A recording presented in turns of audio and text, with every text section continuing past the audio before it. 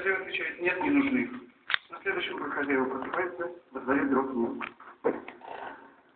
Вот как бы этот же самый анекдот рассказал известный советский поэт Роберт Рождественский. Это было,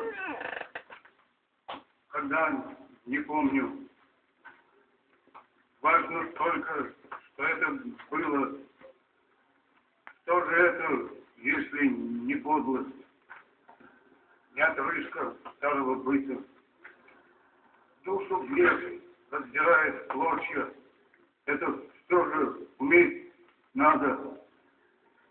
Унесли двора ночью, увели меня, гады.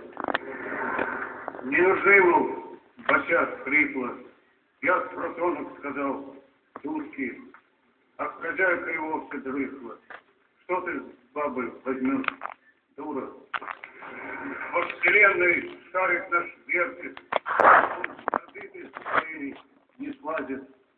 Неужели в тридцатом веке тоже будут дрова лямзить? Я от мысли такой гордый, но не лезь же с утра в петлю. Я поэт, человек гордый. Напишу-ка еще песню.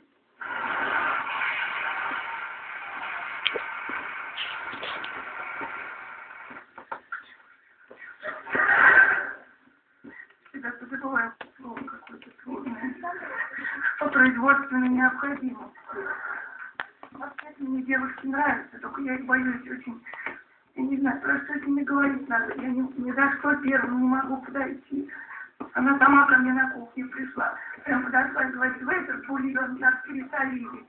Я даже растерялся. Я говорю, какой же это бульон? Это же компост. Она говорит, если это компост, почему у него цыпленок плавает? Я говорю, потому что он еще маленький. Летать не может. Она сразу, тогда скажите фамилию. Я говорю, фамилию у него нету. Он инкубатор. Она говорит, а вы? Я говорю, я тоже. Ну, так и познакомились. Потом уже стали часто-часто встречаться в кабинете директора. А директору это надоело. Он говорит, давай расчет бери или женись на ней. И трави ее дома. Пришлось к ней домой идти, а а дверь открыла какая-то ты, наверное, мама ее. Она говорит, вам чего? Я говорю, жениться пришел. Ее папа вышел и говорит, тогда заходите. А вы ее папа? Он говорит, нет, я ее муж. Я говорю, а я кто? Он говорит, а ты нахал из кулинарного техникума. Я говорю, тогда дайте мне хоть справку для директора, что она замужем. Он говорит, я тебе сейчас дам справку, что у тебя сотрясение мозга.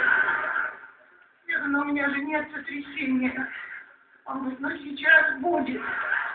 Хорошо, что я быстро бегаю.